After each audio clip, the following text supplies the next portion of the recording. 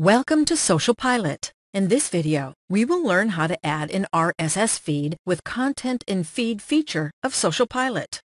RSS feed is a format of delivering frequent updated entries or blogs on that website. Firstly, you need to log into your Social Pilot account, and if you are not already registered, sign up using your email address or with your social media profiles. Great! You are now logged in. You are now ready to add feeds and conveniently share posts automatically or manually to your social media profiles and pages. Step 1. Click on Content and Feed from the sidebar menu and click on Add Feed option. Step 2. Give a nickname for your RSS feed, a name by which your feed set will be displayed. Step 3. Paste the feed URL from the blog site from which you want new posts to be scheduled for your accounts. Make sure you do not enter the website URL, but it should be a valid RSS feed URL. Select the post type, whether it should be shared as text or image posts. Step 4. Select the frequency from the drop-down. Suppose you select every 12 hours. It means every 12 hours, Social Pilot tries to find a new blog post on your provided RSS URL. Step 5. Select the number of posts to be read.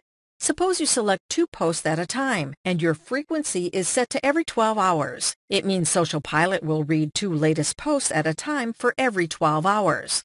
Step 6. You can create a list of hashtags for your posts. Social Pilot will pick two random hashtags and append to your each post published from the feed.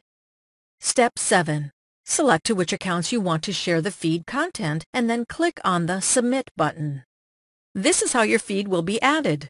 Now as you have added the feed and don't want to automatically post feed content to your accounts, click on the Active button to make it inactive.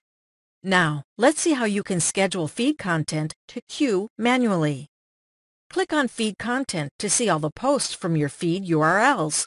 Select the accounts to which you want to share the feed content. Click on Add to Queue or Schedule Post option to add them into your scheduling queue. This is how you manually schedule your feed content. If you encounter any trouble using our Content in Feed feature, feel free to write us at support at socialpilot.co.